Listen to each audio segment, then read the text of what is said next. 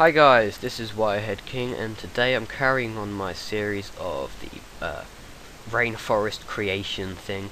And in my last two parts I taught you how to create uh, these shrubs here, these nice variations and all that stuff. Because uh, they're quite uh, a big part of the scene, they're just, well you know, they're, they're, they're plants. And today we're going to be making more plants but it's going to be a bit more complicated than just you know using the sapling tool again. Uh, so let's just get straight into it then. So what we're going to do in this part is add ferns. Now if you don't know what fern is it's like those weird like if I load up my image again my render this one. Okay it's uh, this one. This one right in the front here.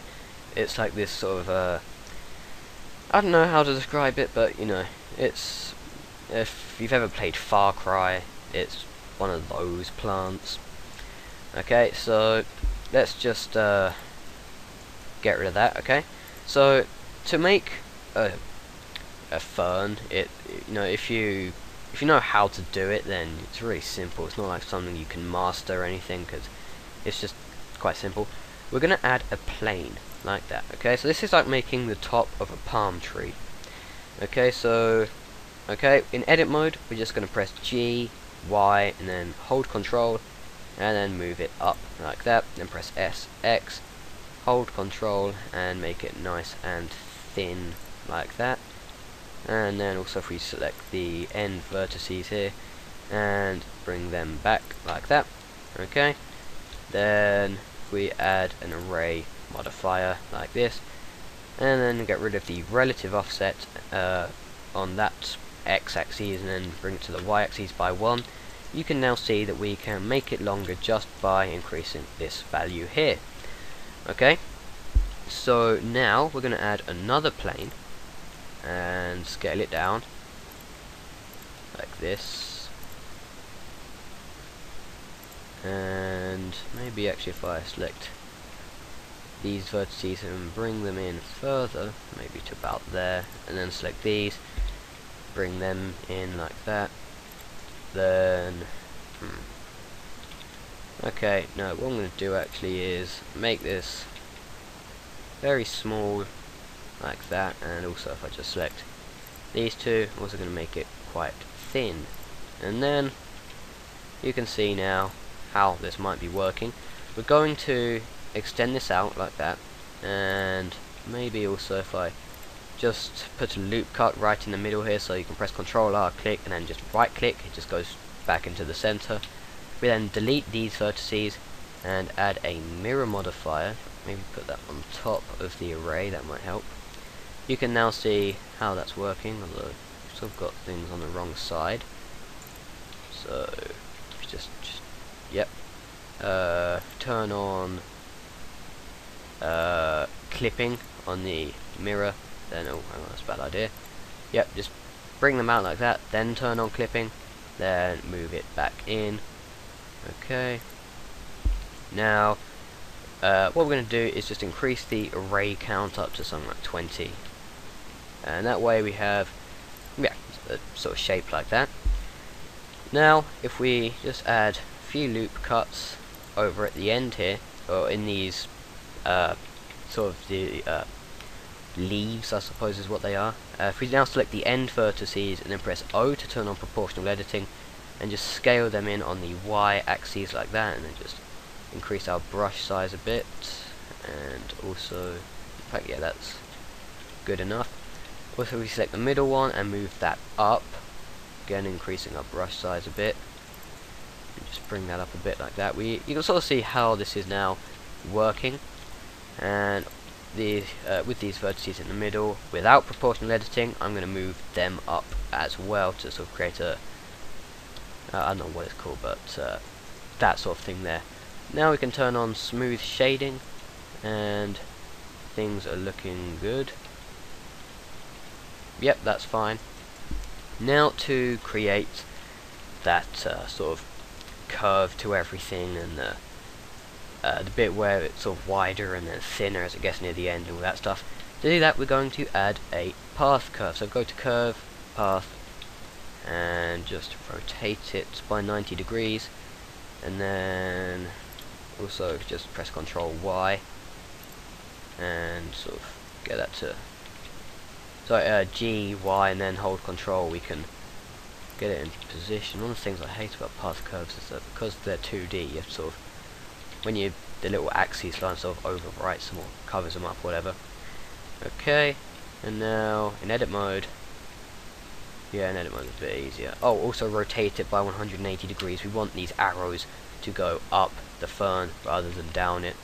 I don't know if that actually affects anything, but I'm just a bit paranoid about curves because I've had so many mistakes with them before. Okay, so now uh, what we can do is select the fern, then shift and right click on the curve and press Control P and then curve deform. Okay, and now if we just move the fern up, like that,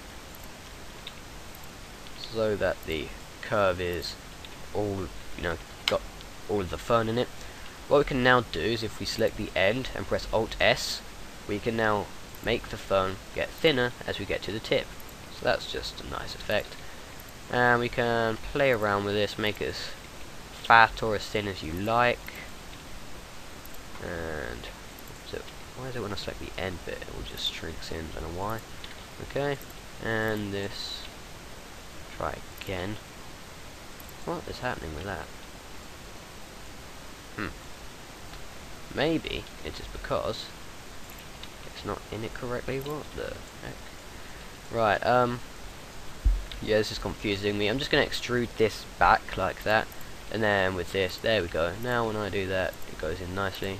Just going to make it a bit wider here. And a bit wider here. And it's really about what sort of fern you want to make. I mean, all ferns look different, so you don't have to worry too much about it. Um, yeah, just and now, as you can see, I'm just giving it a bit of curvature to it. So there we go. And now I'm just going to try and make that smaller again. What is happening with it? I don't get it. Okay. So, and yeah, if you just make that a bit thinner there. Okay, we're getting somewhere with this. Although we're getting somewhere slowly. Okay, we leave that there. Um, Alright, so we've got one uh, fern leaf, I suppose, or whatever on earth you'd call it. One branch with its leaves on. Okay, so what we're going to do now is um, I was going to say apply the curve, but I don't think that's the best idea. Let's just duplicate the fern and its curve like that, and then just make a sort of variation, so like a more sort of lower one, like that, as in a lower branch, so that sort of goes underneath that, and then maybe let's make this one so that it's quite a high fern, so it goes quite high up like that, because that's what sort of ferns do. They're not there's sort of these separate layers of height in some cases.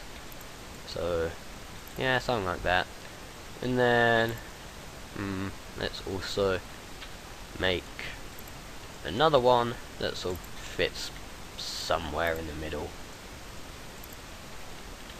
Okay, so, yeah, just raise that up, and that up like that, and then, yeah, there we go.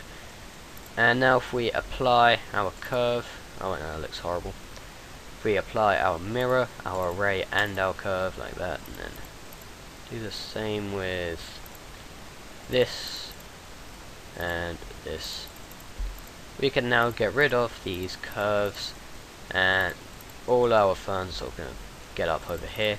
Now we need to adjust where our origin point is because as you can see it's over here and that's no good at all.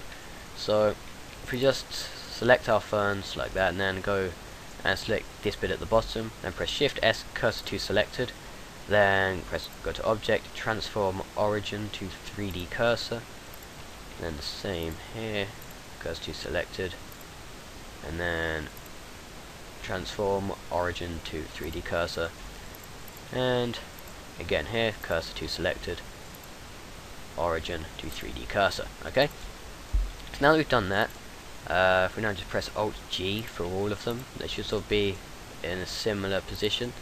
What we can do now is add another array modifier to these. Uh, let's just hide these right here. We, uh, in fact, now let's go to the center and add an empty, so add uh, empty like that, and then add another array for this, and get rid of the relative offset, offset so just uncheck that and choose object offset, and then choose empty. Now, when we rotate our empty, a new fern thing comes out. So we now just increase the count, and you can now see we're getting this nice uh, this nice fern. Okay, so that's not looking too bad. Uh, now if we unhide our other objects like that, and add another empty, so yeah, let's just uh, call this empty one, and that way we can keep track of these things.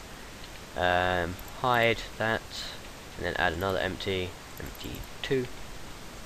Uh, we can now select the other, the second lower one like that and add in another array that's uh, on empty 2 like that. Now when we rotate our empty you can see you're getting that. Now we're going to make this a much wider empty uh, so much more wider gaps because there's not going to be as many. So if we just now increase these values here yeah uh, or the count value whatever you want to call it and then just adjust the rotation like that yeah you can see how that's working. And now for the final ones. If actually we even bother with this one? Uh, no let's actually get rid of that. That's stupid. Okay so now that we've done that we can apply these arrays and delete these empties like so. And then just join up these like that. Okay now, it looks a bit funny in the middle, but that's actually fine. Uh, it doesn't really matter too much. Okay, so now we've got a complete fern like that. Now, when we add uh, a new material, we can call this fern leaf or whatever. In fact, no, just fern because we're not going to add any other um, ferns. Uh, we're going to add other ferns, but there's not going to be any more materials to it. In fact, should we? No, no, let's, let's not do that. Okay, so let's add, know, so make it a bit green, a bit darker maybe, because we're actually going to use this material here.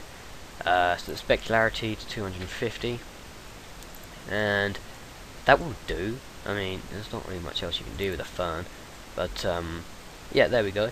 So now if we just scale this down and then press Control A and then apply the scale like that there we go and then duplicate this over here and now to create a variation just you know you can delete you know whole bits of the fern so we press control L. Oh right I see yeah of course. We must have done something a bit wrong or something because uh, they seem to have not have merged very well at all. Okay, so now press Control L, delete that lot, and then, whoa, yeah, let's not bother deleting any more leaves, let's just, you know, do what we can do, which appears to be not that much, because we didn't do this, well, I didn't do this correctly, if you did, then, well done, you saw where I went wrong. Uh, okay, so let's just get rid of all of these. And I think that's the last bit. Yeah, okay. There might be like a couple of vertices down there, but that's fine. And now that we've done that, uh, oh god, right. Yeah, with our brush tool, just go over this fern here and try and get it right. So, let's see, let's just select all this stuff right. Okay, let's see. Um, right, Control L, and then, yeah, oh yeah, if you press Control L, you select all the geometry in a particular place. Uh, so uh, all the connector geometry, and that's where I went wrong. So just select that and this stuff right here. Just delete that, and then there we go. We've deleted that now. Wait, no, we weren't supposed to delete that. Oh my goodness. Right. Uh, okay, let's just stick with uh, this new variation here. It's not much at all, is it? It's horrible. But, you know, we've got a variation. I don't really want to go through that process anymore. I have ruined it. So, yeah, okay, let's just leave it at that. So now we have ferns in our little plant collection. So if we just move it in and sort of scale it to be uh, relative to these shrubs. Ferns are actually kind of big, so well, yeah, we can also have uh, different sizes. Maybe if we just increase on the z-axis like that, we can have that variation. So now if we apply the scale and then see what it looks like rendered, we can then finish this tutorial.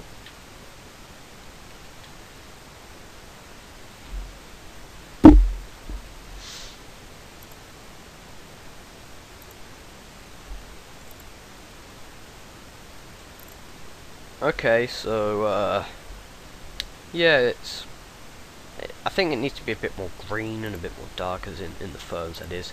So, just make it a bit darker and a bit more of a saturated green colour like that. Maybe make it sort of edge towards yellow. And have another go. Okay, so, we can adjust it a bit more later. Um, you know, because we're going to adjust everything a bit later to finish things off a bit, but um, you know, things are looking okay in terms of you know the plants. And in the next part we will get on to more plants. So this has been quite a big part of the tutorial. Uh, we've now got uh, shrubs and ferns. So I need to name these only. So fern 1 and fern 2 there we go. Uh, so thanks for watching uh, comment, rate, subscribe, uh, visit my channel, all that stuff, and carry on watching in part, uh, part three, four, what are we on? I already lost count, that's pathetic. Anyway, thanks for watching, and goodbye.